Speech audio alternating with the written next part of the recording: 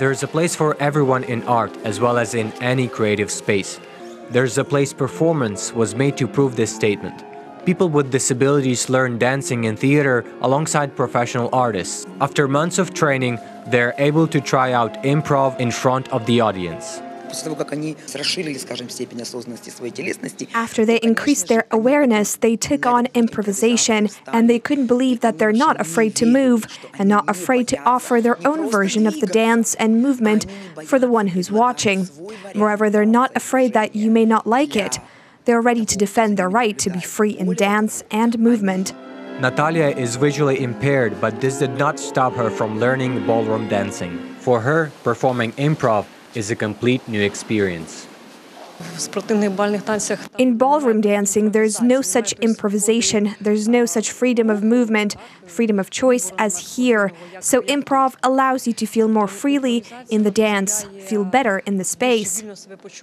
Part of creating an inclusive performance is making sure that everyone in the audience will be able to identify with the actors. It should not be a separate art just for people with disabilities. The diverse audience at Kiev Mystetskyi Arsenal Art Complex had embraced the show.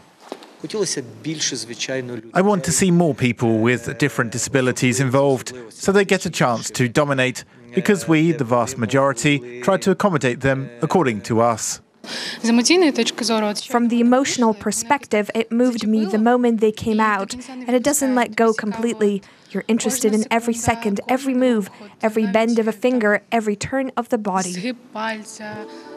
The project was organized by the British Council in Ukraine. Its director got included in the interactive part of the performance, like many other viewers.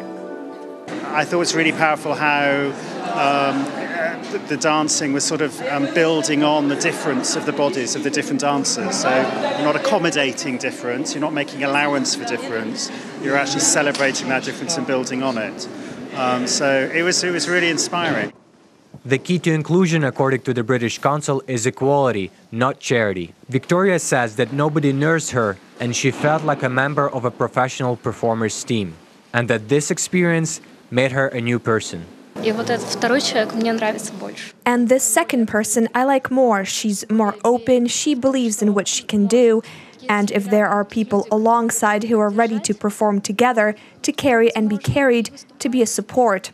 And so nobody here is nobody's charity. This is work and this is art, and it can work this way.